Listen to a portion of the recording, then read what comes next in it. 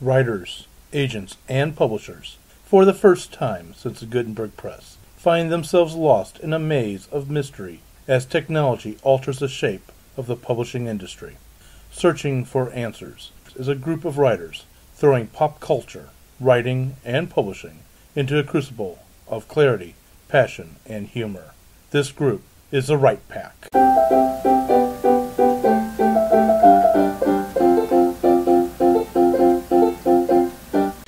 Go. Welcome back to Write Pack Radio. This is your host, David Alan Lucas, author of various things and now working on audio dramas. And with me today is my lovely co-host. Kathleen Kayembe, paranormal romance author under the pen name Kaseka and Vita.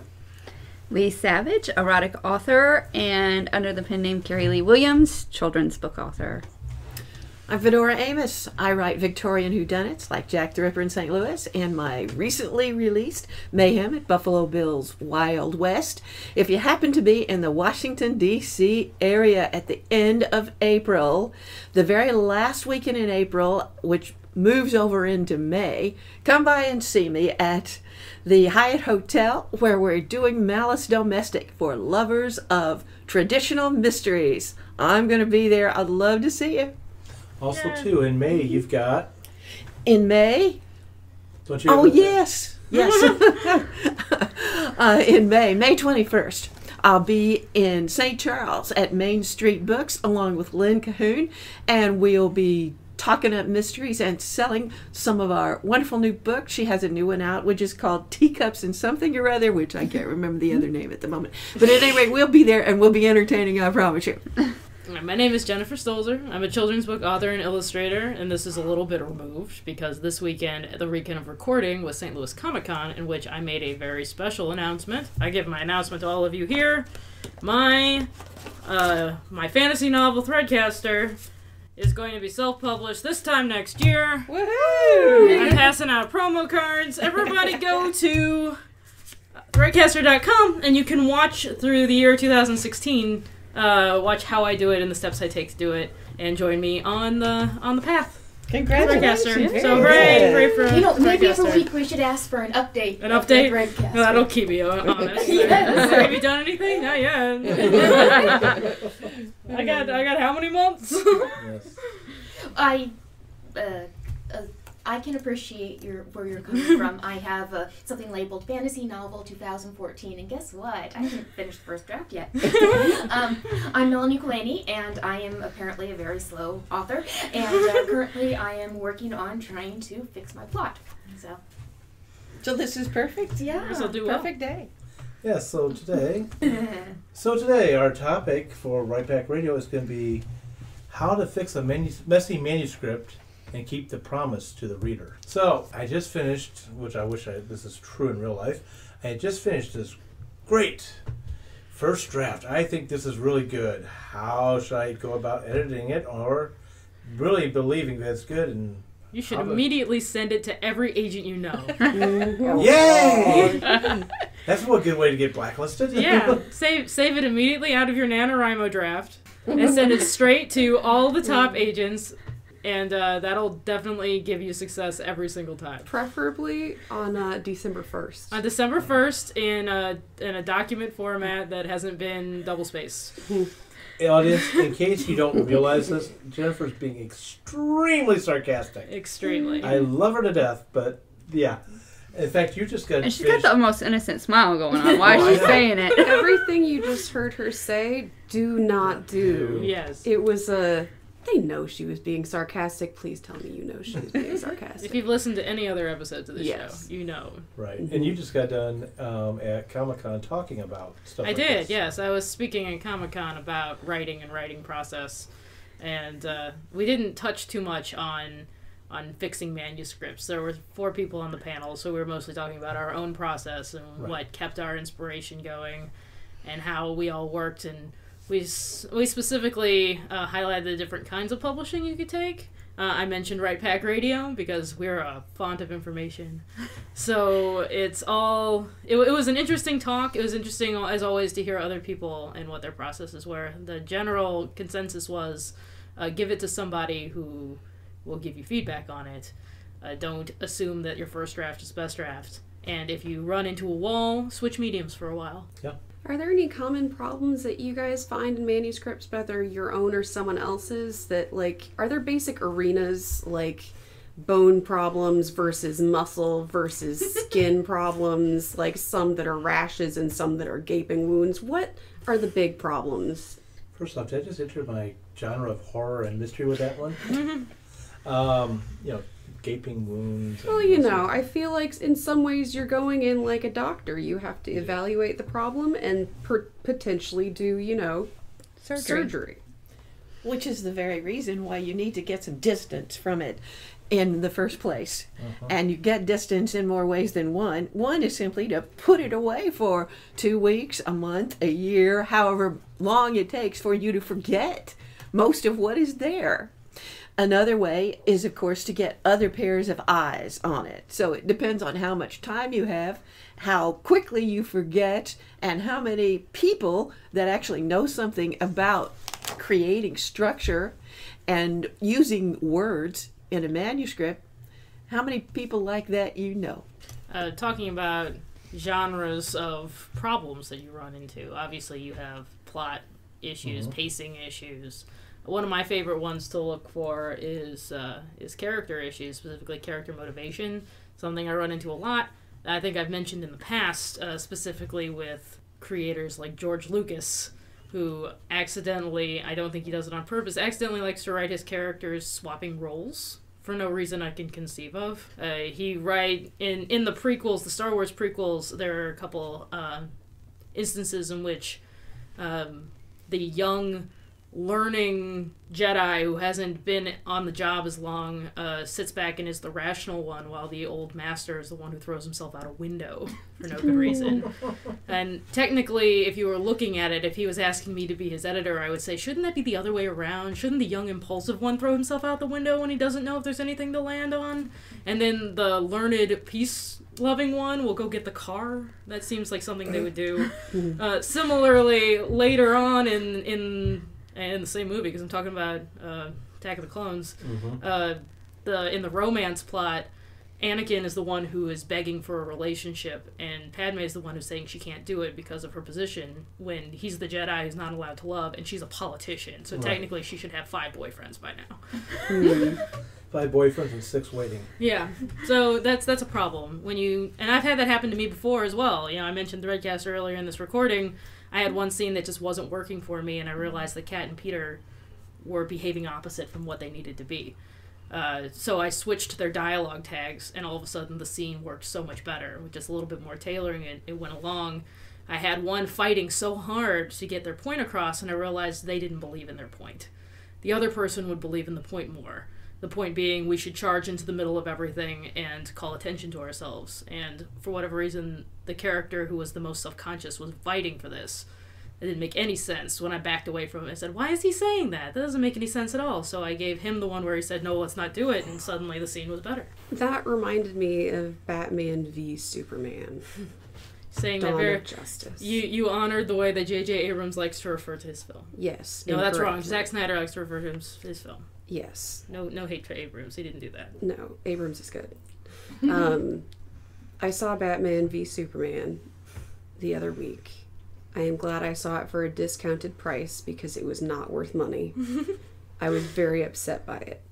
It was a decent movie, but what I found problematic were problems, the, the main issues like plot, uh, characterization, and the promises that their source material, the source characters, the canon Batman, canon Superman from DC Comics, the promises that those characters um, have in whatever they are due to their due to their characterization versus the film characterization and the uh, the marked difference between the source material and what they were presenting in the films. So you say it's an adaptation problem? Yes. So um, my example is Batman. In DC Comics and all the um, cartoons that I adore that have Batman as a character, he is the world's greatest detective. Where other heroes will go off blindly into a situation, Batman has a plan. He has a backup plan. He has he's chess moves. He's multiple moves ahead of everyone, and nothing breaks his calm he knows who he is he knows why he is batman And he's kind of made peace with the fact that Bruce Wayne is a mask and Batman is who he is. Mm-hmm. In the film that I just saw, Batman was led around by the ears, basically, by Lex Luthor and did not realize that he was being manipulated. And he was Is this angry. a spoiler? Yes, spoiler alert. he was angry. He his issues with his parents were unresolved, and little things set him off in ways that the Batman that I knew from DC Comics would never have been. So, characterization was a big problem I had with that film. I feel like they needed to go back to the drawing board. The other thing is that when I'm watching something with Batman, the promise that DC Comics gives me is I'm going to see the world's greatest detective in action. And what I saw was an idiot. so I felt in that way the film broke promises to me that, in the very name of what it was, should have been fulfilled. In in defense of films, we haven't seen Batman as the world's greatest detective in a while now. His movie persona is a lot more kicking people in the face and a lot less finding clues. The thing, though, is he has to be intelligent, and he was shown as intelligent in other points in the movie. Mm-hmm. But there were some basic things, you know. He was very easily to manipulate. Let's put it that way. I, I like the movie much more than you. Let me just put that in there. Me too. Yeah. Um, I will say to Jen's comment, The Dark Knight it shows him being a detective. I mm-hmm. think that's the only one of the three. Mm-hmm. But Dark Knight did show him being a detective. However, I want, I'm glad in a way, even though you and I will disagree about Batman versus Superman in the sense of it being a, as terrible as you've just pointed. We pointed can talk more after the episode. Okay. if I have She's got a lot of I do feelings have, right I do now. have it. I I, do. Have my issues with it. Number one is I think they try. I think DC tried to make up tried to make up too much ground on Marvel by throwing everything into this Yes, one that movie, was another problem I had with it. and it, they should have done it. But So is there a pacing issue in that? Yes. the big pacing issue Oh, it was. and so forth. Plotting. But I'm, but I was You gonna say and finish. what you've raised here. Jen just raised point number two. I want to go to Oh, okay. Hmm. what you raised about the promises. Whatever we write, whatever we see on television, whatever movies we go to, whatever audio plays you might listen to, nope, you can listen to audio plays, uh, is you, you walk in, you write in a genre or multi-genre field, and there are promises you have to keep to your audience. If you're doing an adaptation like Batman versus Superman was an adaptation, you have the promise that the, that the DC universe has, and that's what you're walking in and expecting to see a DC style film. You walk into a Marvel film, you're expecting a Marvel style film. You walk into a mystery, you're expecting a mystery there. You're not walking into a mystery and suddenly seeing Conan the Barbarian running around wearing almost nothing and a sword. You don't walk So into It's a funny DC. you mentioned Conan the Barbarian, given that he's a character that you see in Batman versus Superman. But go on. No, I said in a mystery. You don't walk into DC and expect to see My Little Ponies. Okay. I think I just gave Kathleen Kathleen wishes that she'd seen Oh My my gosh, I want to see a. Batman My Little Pony so badly right now. DeviantArt. You'll find it in three seconds. Oh my gosh. So what have you done, Dave? That made me I very have created happy. a monster yet again. I, I do this well. All right, so Oh, you were great. gonna bring up pacing. I was going to bring up pacing, and pacing is another thing. Pacing is, I find pacing hard for myself because I really wish I had studied music more as a kid than I did. Hmm. Because I find there's a certain amount of, well, I want to say tempo that goes with pacing. So how do you guys, with, okay, let's first off identify when we when you have a novel or a script or whatever done. Number one, what Fedora said, put it put it away long enough that you can come back to it with a jaundiced eye. A, a Um, jaundice eye? Yes, they- did I mispronounce it? Sorry. I don't know if that's what you. Uh, with No, a jaun- unjaundiced, he meant. That is with With a degree of fairness Mhm. and and detachment. more impartial. and Okay. Impartial. Oh, I've always heard it called jaundice eye. Okay. So, So Ton, unjaundiced. that, that just tells me you're coming back yellow. Yeah. So before, that's the way I always heard. So you want to have uh, some distance from the main. You only have some distance. So w- now that you've got your novel back out of a dusty drawer, drawer or you found your uh, flash drive underneath the couch, and now you push, pushed it back in, what are you going to look for next? Are you going to look for pacing first? Are you going to look for characterization, tone? What do you look for now? Well, what I tend to do is after I've had enough time that I can look at it with fresh eyes, like I'm a new reader all, as much as I can be. Um, I'll read through all of it and make comments either on the computer or by hand as I go through, and just look for bigger things. Um, I look for the, the the bone problems, not the oh, there's a rash on this arm. Okay, so, what's the bone? Pro- give me so an like example of bone. uh, things that Jennifer mentioned earlier, like plot, pacing, characterization, and structure. Like, do some things happen earlier than I need them to, and do some things happen later than they should? Um, so things like line edits, things like language, which I will edit for, um, and rhythm, um, I will save those for later because those are things that will definitely be changed if I change how the plot works, how the pacing is, if I rearrange um, structural issues with the story. So I save the things that will be directly affected by any big changes I make for later. And I just comment on the big changes and things like, this character would not do this here, you know, things like that. And then I'll go back through and look at all the notes that I made and figure out what the solutions to those problems that I've raised are. Yeah, I'm a plotter, but that doesn't mean I don't change things as I go along. And I was reading back through what I already wrote, and I made a promise to myself not to edit till I got a draft done. And I was reading, it's like, oh boy, uh, hmm, that doesn't, that can't happen. That doesn't make any sense anymore. You know. I think there are a lot of times in plot that one thing will run up against another.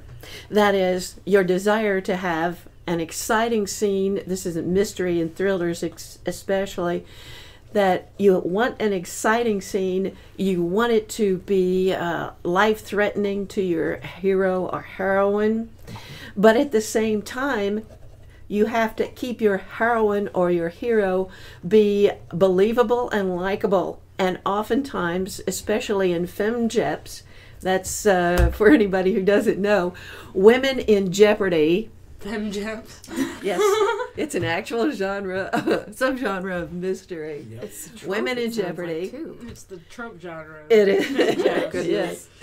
That I'm gonna, often, I'm gonna have a super villain in Fem someday. in, only in kidnaps order to have this this really harrowing scene, you have to make your heroine be stupid.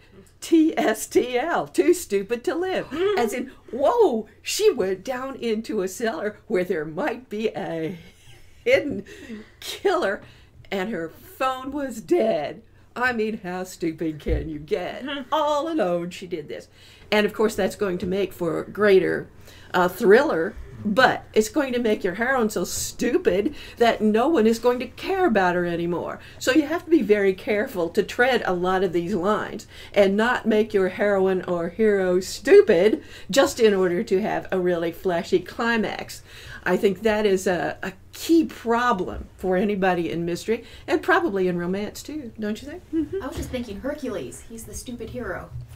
You know. But he can punch his way out of stupidity. but that's why he also runs into um, layperson, which his strength is not always going to be the solution. Some oh, uh, so I have a novel that is going to be finished by the time I leave for Clarion. It is a rule, um, but uh, it's been such a long time since I started writing it that when I read back through it to continue writing the draft, because I I'm not going to restart it. I know if I restart it, nothing will get done because I will be so depressed. Um, But having reread it and talked to uh, my plot doctor, who is sitting across the table from me, Miss Jen Stolzer, Hi. um, I realized with her help that the beginning needs to be rewritten, and I'm a chronological writer. So there are things in the beginning that are going to change that are then going to have repercussions throughout the rest of the draft that I'm currently writing. So I've made notes to that effect, but I'm going to leave it for now. I think one of the things you have to do when you're going through a manuscript is pick your battles. There are some, you need to be strategic. What needs to be fought first? What needs to be worked out first? and then see where that leaves you and then pick your next biggest issue and go from there. I do have a question. I'm going to go ahead and let you two go first, and then I'm going to come to that question. Okay.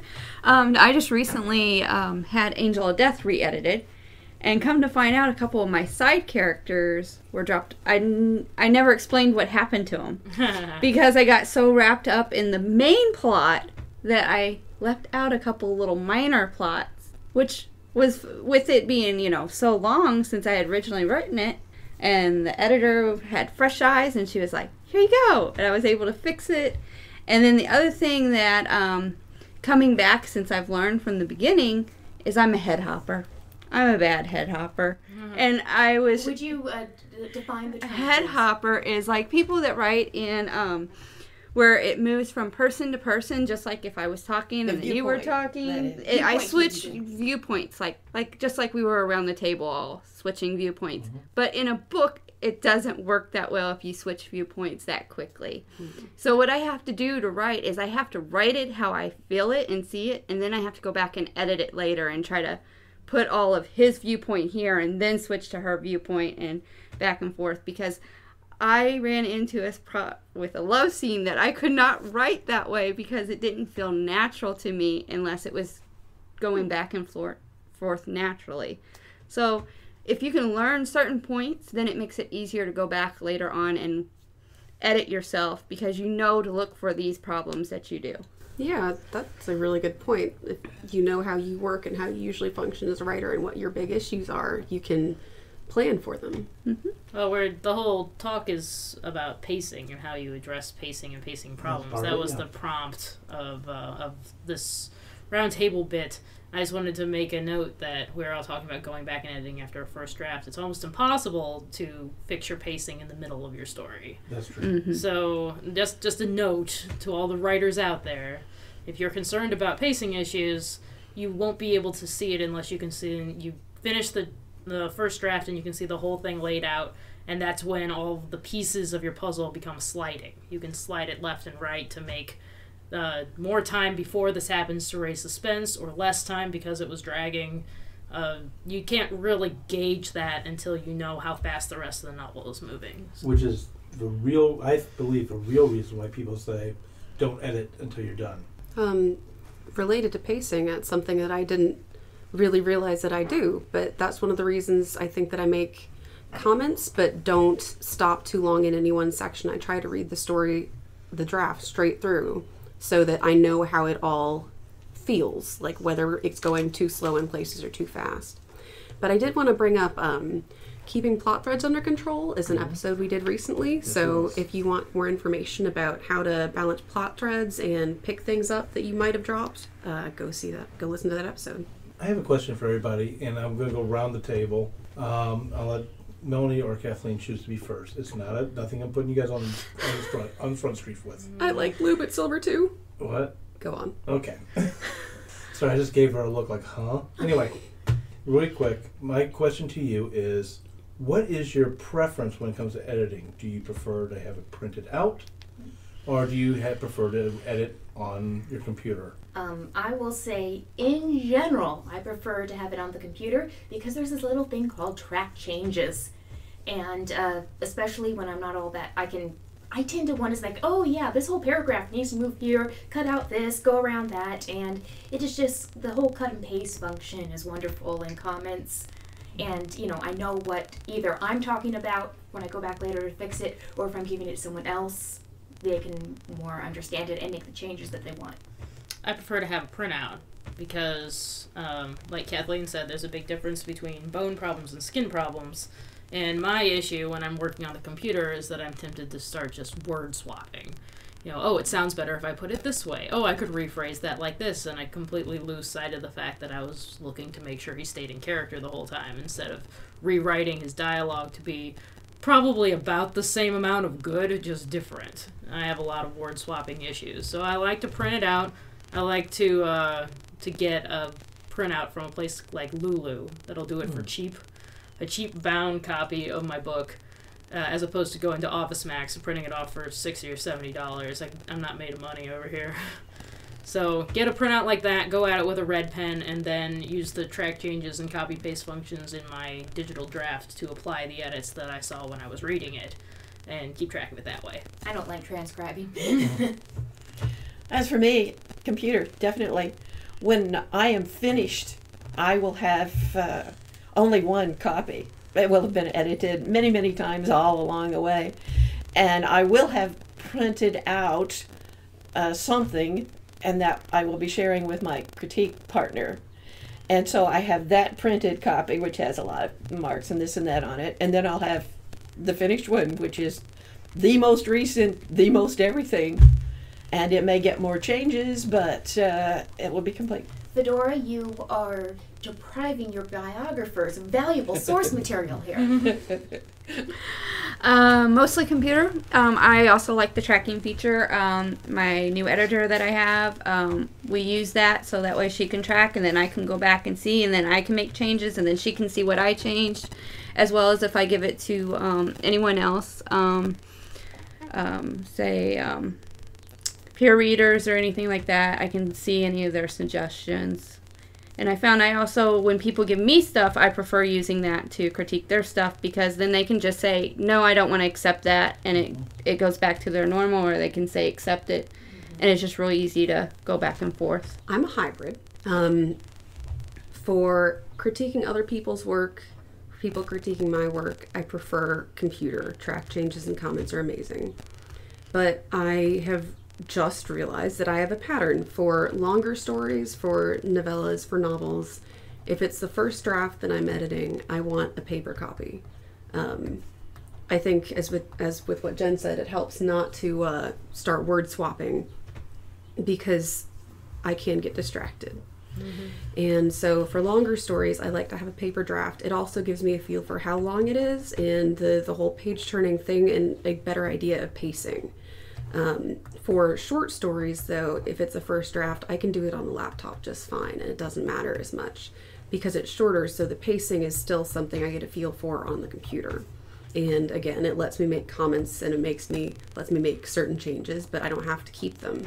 So I'll do track changes on a final draft looking uh, thing, so I don't see the changes that I made, and I can go through it and read it and see how it is. But then it still says, you know, there's a change here, so I can decide if I like it better one way or the other. I'm closer to Jen in the sense, at least especially the first draft. No, no, actually multiple drafts I do this. Eventually, I get to the point where you are Kathleen, where I keep it on the computer and send it off and keep your track changes and so forth that way. But like Jen, I'll get printed off, but I won't print it up in a book. I've not done that yet. Doesn't mean I won't. But I sit down and I will sit down with a box of colored pencils, and I will go through the draft with say the green pencil Mm-hmm. all the way through. Put it aside and come back to it again in a couple days. I'll go through it with the red pencil. And what I'm doing is I'm I know, for example, the the first short story I had published, which came out of a vampire novel, which I haven't put out there to be published. Um, basically, I went through 727 drafts doing that. Just one printed draft, 27 colors, going through and re-looking because like it's, it was almost like an online track changes, but it was on paper, and I could note, mark, and I was not tempted to change anything until I What were was all done. the colors for? Yeah, that's my question. Well, Yeah. the, the colors became. I went through first looking for plot, for tone, pacing, and then I was going through character voices. Did I make, let's say, for example, if I made the people here at the table my characters, I did not want Jen and Melanie to sound alike. But if I found that they were, that meant I was talking, not Jen, not Melanie, not Fedora, no one here at the table. So I was going through it, and then I was reworking. Like you point out, you're you are a chronological writer, Kathleen. Mhm. I am too, and uh, I'll be going through like, okay, I just changed this. What does that do? I just changed something in chapter three. What does that do to chapter twenty? Mm-hmm. and then so forth. And I was finding that in I find that with characters, and I went. I am a pantser. I've gone back to it. I've admitted I can't do plotting, even though my genre should demand I do plotting. I get bored, so I pants it. I go through the actual investigation as I'm writing it. Well, now Timmy, who was in the story, has suddenly dropped off the face of the earth as as Leigh has done. It's like, well, okay, did, what happened to Timmy? And by the way, can I make that more important? Can Timmy have suddenly been put in front of an oncoming bus and made that part of the murder mystery? You know, uh, that's basically what the colors were for. And it did have colors specifically, so specifically. So in other words, Kathleen, you would have been red. You're wearing red, so I'm choosing red. I would have had Fedora be black because that is the color she's wearing.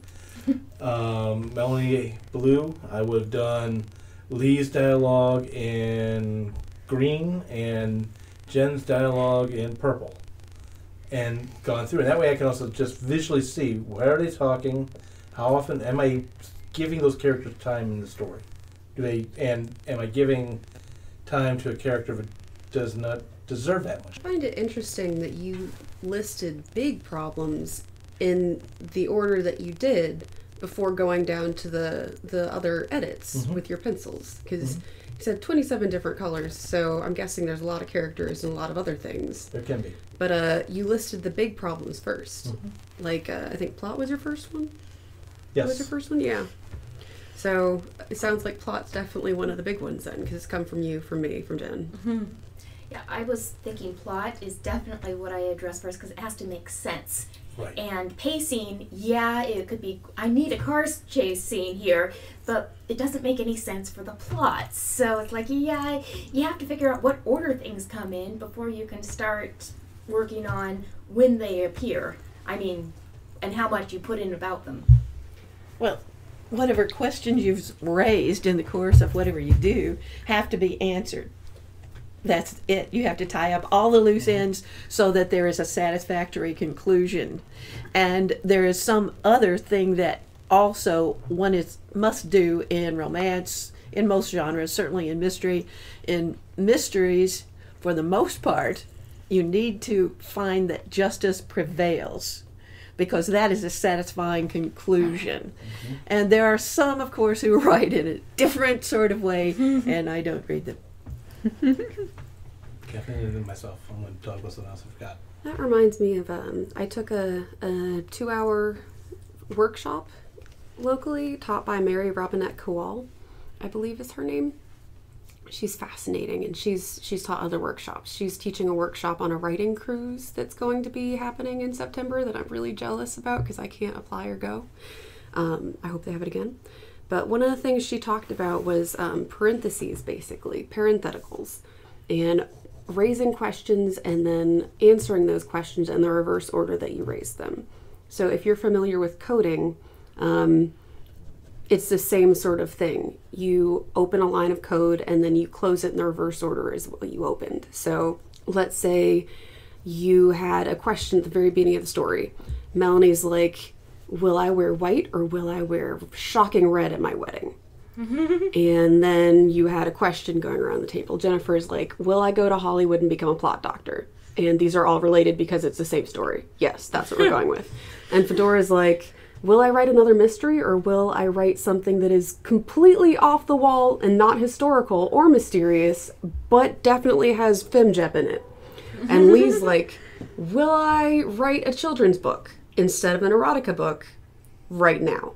So then, over the course of the story, you would want to answer all those questions that you had raised. Sorry, you don't get a question. You I were too far. out, to the, you were literally left of me. You got left out.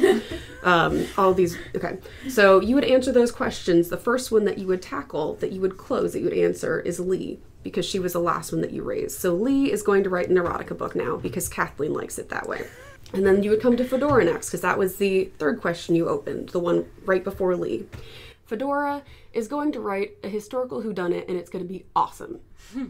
But she is going to have references to something completely off the wall, like uh, a pony that is wearing a cape because Batman, A My Little Batman Pony. Yes. I'll take that under advisement. So that'll be a nod to Kathleen, but people won't really know that, but that's okay. So I put an Easter egg in her book. I hope the entire interaction is someone across the street going, "Does that pony have a cape?" So so you've you've then answered those two questions. Then you would tackle Jen's question next. Then finally you would tackle Melanie's, which includes you because you were marrying her. So you counted too. So you I ask these questions. here. you weren't involved in the question, but you were involved in the question. You will help her answer the question, and then the story will close. Her question is last whether or not she consults you about whether or not she can wear that red dress she found. Yes. so you open the questions and then you close them in that same order. You want to kind of bookend things, and that makes for a more complete feeling story. And it also, um, I don't know, for some reason the symmetry works for people in a in a that. good way. So that of course, the lesser plot, the mm-hmm. subplot, is always going to be finished before the main plot. yes, and the main plot is kind of what you want to introduce and early. You may not want to And you want to leave your story with the big guns. Yes. You want to leave with the most impact you can manage. Yes. Yeah, I love I love what you just did. I hate to derail it because I'm going to go back to something which I forgot to mention that one of those colors dealt with Mm-hmm. symbolism. When I'm going through it, and a lot, it doesn't matter if I plotted the story, if I'm pantsing the story. Actually, symbolism occurs sometimes unconsciously. For example, what is symbolism? Let's say um, I use a spider web, and I not knowingly I put a spider web in a scene that's really dark, and over someplace else I have somebody talking about a web. It could be the internet, but a web. And in another place I might talk about a spider. Now I'm being very conscious about putting this in, but now I'm going through and going. Does a I obviously have identified a symbolism, be it consciously or subconsciously, depends on how Carl Jung you want to go there, and does that symbolism make sense? Does the symbolism change at all? Does suddenly the spider, which could be dark and scary, become a little pet? You know, that, that you that's like a kitten. Um, I know scary, but I'm just saying, using it as an example. And if it does, okay, the symbolism can change, but does that make sense where it changed? So that's some, that's another part of, of my editing. I wanted to uh, get into a little bit more the critique factor in fixing Please. your manuscripts because we've addressed kind of what you can do for your own manuscript. Um, but after you've done as much for your manuscript as you can, that's when I think you want to get it to other readers and get their comments. I'm just going to give you a support comment, and I'm Mhm. going to let you keep going. In my bill pay job, Mhm. part of what I had to do it used to be I actually had to write the documents. Now I get to just edit the documents. That sounds easy, but no, it's a lot more work. But there are documents that which I go through. If you've listened back to other Write Pack Radio episodes, I've mentioned it before. These are documents written by the federal government that you actually can make certain changes that are allowed to change. If you screw that up, I kid you not, it is about a thousand dollar fine per person who gets that book, and it's a two hundred some odd page book. So these are thousands and thousands and thousands of dollars that could be an error. You cannot. I learned the hard way, not because we got fined, but I learned the hard way through other people editing my stuff. I cannot see my errors. I cannot see the forest through the trees. You have got to have someone else's eyes to do it. Yes. Um, so, as you would say, like you can't see your own er- errors after a certain point, um, and you get something as good as you can get it, and then you send it out to other readers, because most of the time they'll catch what you couldn't. So catch part of it. yes, they'll catch what you couldn't. So, how do you guys go about getting critiques from people? How do you find good people to get critiques from? And is it cool if I give it to my mom and she says it's great? Am I am I done? No.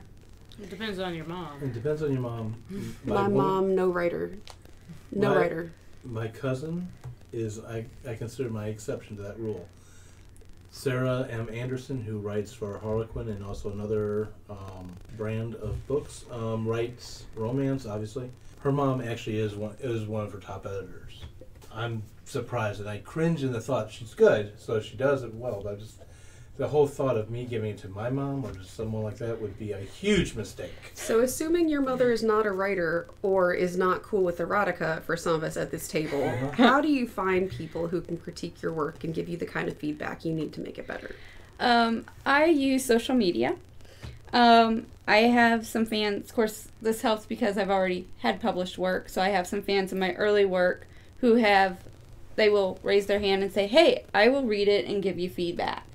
And be, and I look at those feedback different than I do, say, some of my author friends. Because my author friends are going to get a little bit more technical, whereas the readers are going to let me know if there was major plot hole or if it didn't hold their interest, something like that, or if I suddenly was untrue to one of the characters that they love.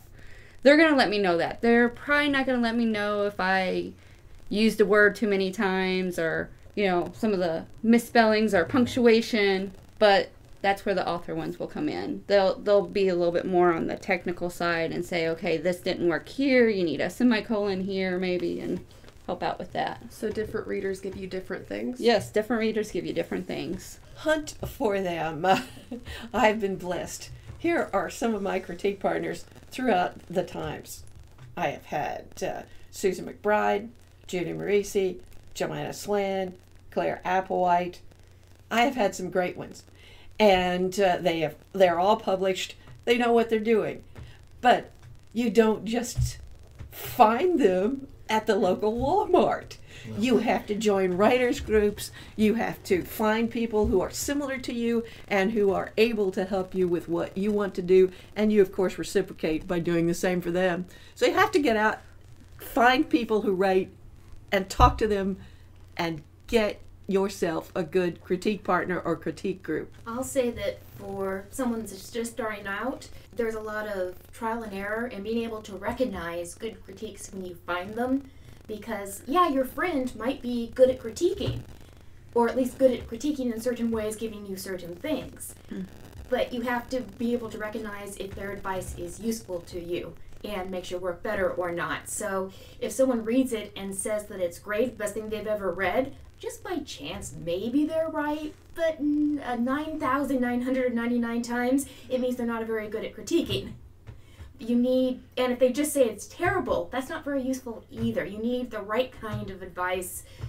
And um, if they give you advice, it might even be technically good critique advice, but then you have to consider okay, are they my, do they like this type of work? Are, do they like my genre? Are they my target audience?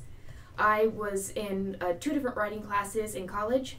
One of them I meshed with. I got some great critiques. The second one, I actually submitted the same story with the professor's knowledge, but the results I got back made another interesting story. But it was a completely different story than the one I was trying to write, and I had to recognize that, hmm, this is a story that would appeal to mostly, you know, 30 year old women or something like that. And this is a male that's just coming from it from a completely different point of view and is like, yeah, I'm not writing this story for him. so. Hmm. I tend to, and I tend to do a little bit of what Leigh talked about and what Fedora talked about. I do three layers of editing after I get done on my own. I give it a beta reader. And What's If- a beta reader? a beta reader is a reader who is reading a, a, an edited draft of your work. They are not necessarily a professional. Um, I give it to them, and I look at the, I look. I try to choose good ones first, but sometimes you don't know how they're going to how they're to read it. So I look at what they critiqued back. If I get a oh this is great or this is terrible, it's like okay, I, I love you as one of my readers. I will not give it back to you again. If they start pointing out things like what uh, Leigh was talking about is like, okay, I will, I keep that in a list. These are the people I want to use, and I look for people who I trust their advice. And usually, sometimes I don't discover who I can really trust until I get back results. I take what they give me under advisement, and then I give it to professional editors, or I will give it to other authors, like what Fedora does. People who know, who are in this field, they know what to really look for, and how to clean up that aspect. I'm still not done. Go ahead, you got a question if you if you want to pause. Okay. Then I have got a friend who I'm extremely blessed with having, who is right now ready to kick me in the pants because I haven't given her anything to read for a while. But she's a copy editor. She goes through looking for all the grammar and the punctuation mistakes. Now she's my last line because what when I'm done with what she gives me, it should be polished. Should knock on wood, be ready to go. That's my that's my three left three steps. Did you have? I just wanted to um, make uh, people aware that when you're getting people to do critique for you, it's good to have as many people as you can on your lists because not everyone's going to have the time or have the energy or be able to critique for you, especially if you have a deadline. So the more people you have on your roster that you can call on, the more likely it is that you'll get more comments back for your work. I want to say something about about having amateurs or beta readers do it too. If uh, and a lot of times they will have no idea what's wrong, Right. but they'll know that something is just not gelling, something is just not there, and they'll say, "I don't get it," or uh, "What did you really mean?" That kind of stuff, and they don't know how to fix it. They don't even know what's wrong with it. But you see that that is a red light. Okay, they're right. There's something wrong here. I gotta fix it. I, I don't know how to fix it, but I'm gonna read it until I do. Go back to our previous episode about Neil Gaiman's uh, rules on writing. He talks about the beta people like that. They know what's wrong. yeah, okay, there's something that you need to listen to it. They if they tell you, hey, here's what's wrong, they're probably not right about what's wrong. They're right about something being wrong. That's paraphrasing. No, I, I thought it was they were right about there being a problem. They were wrong about how to fix it. That's what I just Yeah. said. I didn't think that's what you just said. Okay, well that's that's what I thought I said. Well, um, at any rate, there's a, a book by Orson Scott Card called How to Write Science Fiction and Fantasy. Mm-hmm. And in that book, he talks a bit about the process that he used to turn his wife into his ideal critique partner, his ideal critiquer. Um, I don't think his wife is a writer, but she catches everything now. Um, and what he did to kind of show her what he needed was he would ask her to uh, tell him or or write for him where she got disinterested or where she stopped believing in certain things or you know where the reactions uh, where she had reactions to his story that were or were not what he wanted. So in that way he could take that information and figure out what the problem was and then use that to uh, come up with a solution. So something that uh, uh, critique partners and readers can do is they can tell you there is a problem here, or I lost interest here, or I mm-hmm. don't believe this character would do that. They won't always have the best solution for you, but just knowing where the problem areas are, you can usually come up with the best solution Sorry. I, I just had a very geeky I, science fiction-y idea that actually probably would work, but it's completely impractical. Have someone listening to the audio of your draft while they're in an fMRI machine, so you can get their emotional reactions as they read it. Actually, That would be pretty Actually- interesting. Go a friend and I will do read alouds. Um, we are no longer in the same state now, but we'll do read alouds on Skype or on FaceTime, um, video chat. So she'll read her story and she can see my face. And I'm really animated when I'm listening to something, so she can see in my face where I'm losing interest or where I get really excited or when I'm when I really love something. So she knows those ways like don't change this or like this way she was kind of she looked off to the side for a little bit like she wasn't paying as much attention and doing read alouds are amazing they're amazing for both people so i highly recommend them read aloud people wonderful Even without someone else to hear you, a read aloud is not a bad idea. You can hear where your sentences are clunky. Mm-hmm. And if you want to narrate your own audiobook, it's good practice. um, there was a story that I used in my um, application, and one of the things that I did after I had done all the other edits, then I edit for line, I edit for language, and I would read it all the way through and see where things felt clunky, see where the rhythm felt off, you know, and edit things for that. Because at that point, all the other changes have been made. It's more line edits are the things that you save for last if you're me, because everything else has been done. These are the last things. You can do the surface problems now you can you know Polish. Mm-hmm. Mm-hmm. you can you can put some cream on that rash and you know neosporin on that on that little paper cut you gave yourself Aren't you extending that metaphor a little bit far?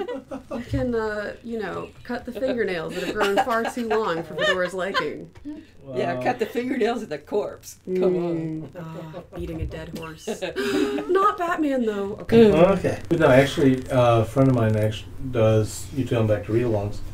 He has the computer reco- read his work, records it onto a D onto a CD, and puts it in his car as he's driving. So wherever he's li- so he's listening to his own book on disc, if you will, while he's and driving, he's catching what f- problems it has as it's going. The problem Takes a I little see note. with that is how do you take notes while you're driving? That's his problem. voice memo voice memo app on my phone Yeah. Mm.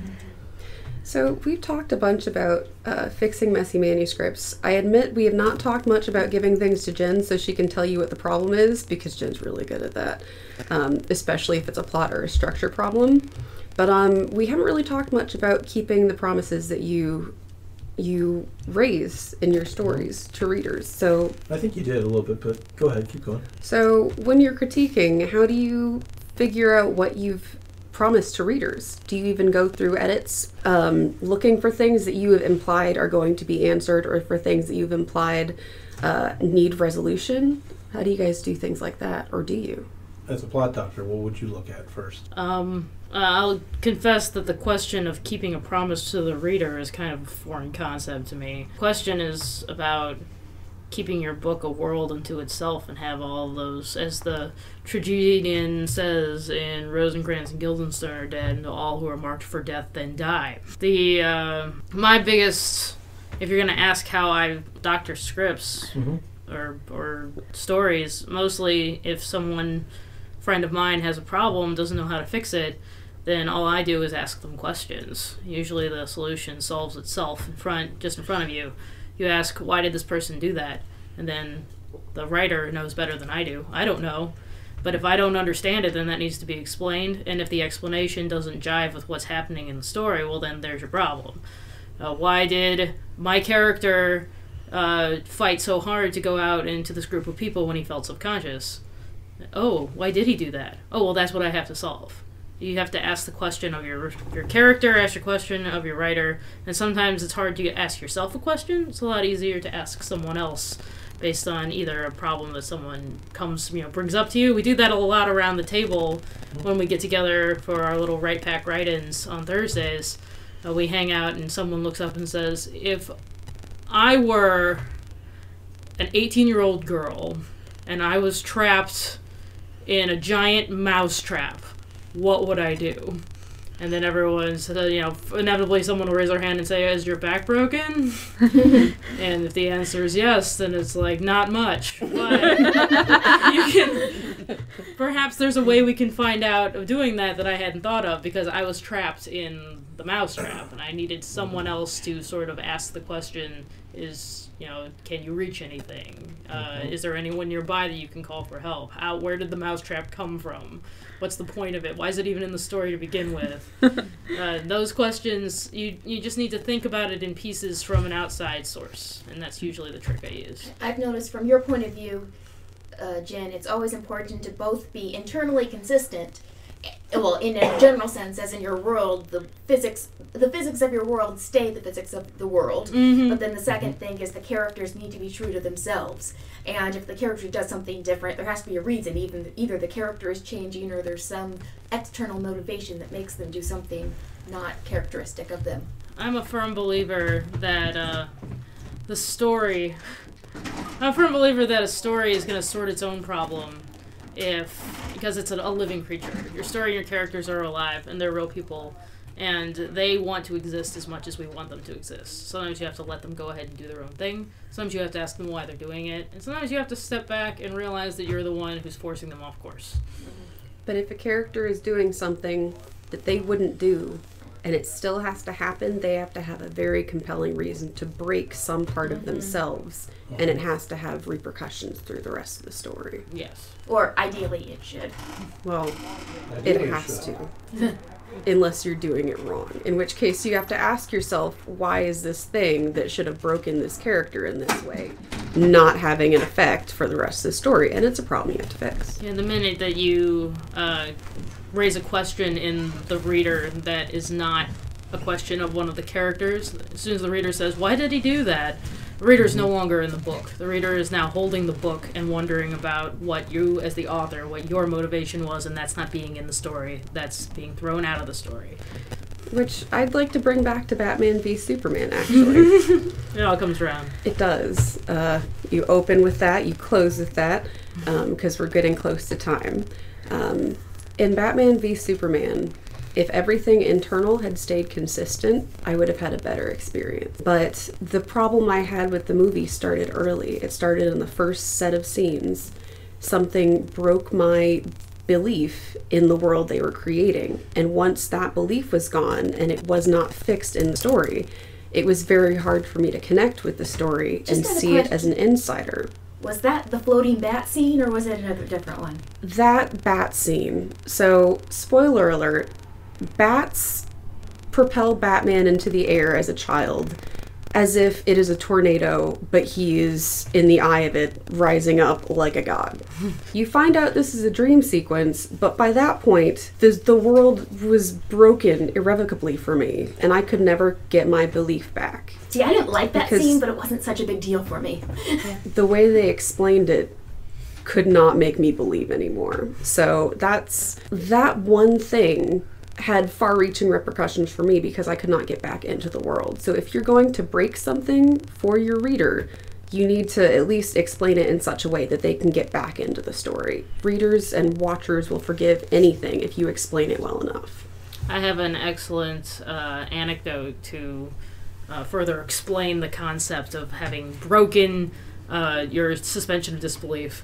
There's a terrible movie that came out not long ago called 10,000 BC, and it's awful in nearly every way. Um, it was shown for my university for free in our auditorium because they knew it was awful and they were hoping that some stupid college kids would give it a whole lot of good reviews so that people would see it anyway. So we went, and now I'll remind you that I was still me back then, and my my friends and I were all uh, storytellers. Um, specifically, my friend Elena, uh, I love her very much. Uh, she's a scriptwriter. So she was watching this film, and unlike me, when I run into a bad movie that is, I'm realizing is just getting worse as we go along, it becomes funnier. Elena gets angry at it. She is upset that it has the gall to exist in front of her. so we're watching this film, and uh, first off, it takes place in 10,000 BC on Pangea, but they didn't acknowledge that in Pangea, the continents that form it are not maintaining the ecosystems that they have at our present time. So this caveman walks for two days and crosses a tundra, a jungle, a desert, all of these different biomes that are within foot distance of each other. Uh, and she's like, "This is stupid." And like, "Yeah, it is," but not out of it yet. He gets trapped in a bamboo pit, like a legit bamboo pit, by the world's ugliest CG tiger I've ever seen. And uh, then he makes peace with the tiger using some sort of soul magic. Still not, still doesn't have her out of it. He gets chased up a tree by a giant killer chicken. Still doesn't have her out of it. We get to the pyramids, which are being assembled by mammoths that are pulling giant blocks to build the pyramids. Still not out of it, but at the very, very end, the girlfriend of our caveman that we've been following uh, is is stricken down, and the camera zooms off into the distance, and we come back to his home village, where the old wise woman who told him to go on this quest looks up, sheds a tear, and dies, and her soul brings the girlfriend back to life. And Elena stood up and said, "I'm done." Wow. And that was the moment. She had put up with it all that time. And that was when she was broken. And the movie had no meaning any longer. Then we went to Denny's and complained about it for three hours. You know, that was the point that David threw the, the timepiece that tells us how much time we have left. He was done too. I was. It was, it was a terrible movie. Well, just as kind of a final word, I'd like to talk about obstacles because in the course of any novel, you're going to put obstacles to romance, to solving crimes, to whatever.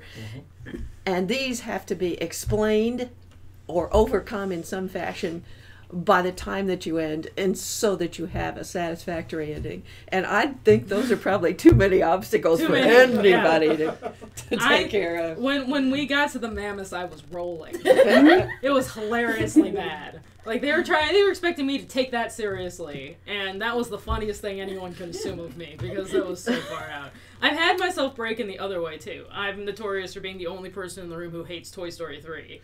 I hate Toy Story 3 because they expect me to make a leap of emotional commitment that goes too far for me and it throws me off. And when they turned on the tinkly tinkly music in this the scene that was so ridiculous that I started laughing, and then I realized I was the only one in the theater who was laughing. 'cause Everyone else was crying. And they expected me to jump with my emotions into it's. If we've seen, if we've all seen Toy Story three, it's the swirling fiery death pit. Okay, there's a swirling fiery black hole of death that goes straight to hell, and they expect me to believe in this world where everything is the same except the toys are alive. That that's a real set piece in a real junkyard somewhere. This literal whirlwind whirlpool of, of fire and i was laughing at it because i thought for certain we were going to have some sort of a comedy rescue that was going to follow because it was so ridiculous but instead they played it completely straight and all of our toys held hands and rode the whirlpool into death and i crossed my arms and said nope no i'm not in this anymore thanks though